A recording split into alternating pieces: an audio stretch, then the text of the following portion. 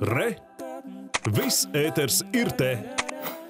Latvijas slimnīcās atkal pieauga ar koronavīrusu inficētu pacientu skaits. Pagājušajā diennaktī slimnīcās ievietoti 73 ar covid sasirkušie. Ārsti to pagaidām nesaist ar jaunā vīrusa paveida omikronu ietekmi. Lai gan daļa inficēto slimnīcās nonākusi citu slimību dēļ, ārstu aprūpe nepieciešama arī smagi slimiem covid pacientiem, un slimnīcas atkal gatavojas pacientu skaita pieaugumam. Un par to plašāk Zāndozola baloda. Iepriecinošās ziņas, ka Covid slimnieku skaits slimnīcās sarūk izsīkušas. Covid inficēto skaits slimnīcās atkal pārsniedzis pustūkstoti. Pašlaik Latvijas slimnīcās ārstējas 561 ar Covid inficēts pacients. Pašlaik mēs redzam pieaugumu dēļ deltas, un pārsvarā ne tāpēc, ka pats izsaukumu skaits ir augošs, bet tieši šī pacientu uzkrāšanās svētku periodā ir veidojusies.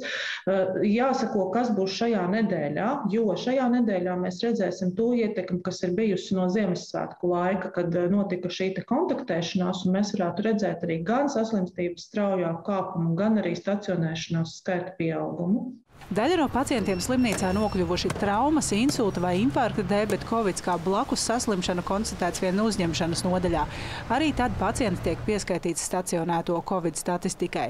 Lai gan netrūkst šādu slimnieku, pacientu skaita pieaugumu novēro arī Austruma slimnīcas infektoloģijas centrā, kur nonāk tieši covid izraisīto veselības problēmu dēļ.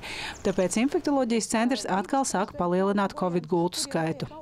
Mēs jūtam, ka ir tāds pieaugušs pacients, un mēs vienkārši spiesti to darīt. Jā, un arī darām laicīgāk nekā tad, kad jau kaut kāds nu, saucamas nu, situācija ārkārt. Jā, bet šobrīd mēs darām to tiešām lēnām pa pārvedam, nu, atveram vēl gultas.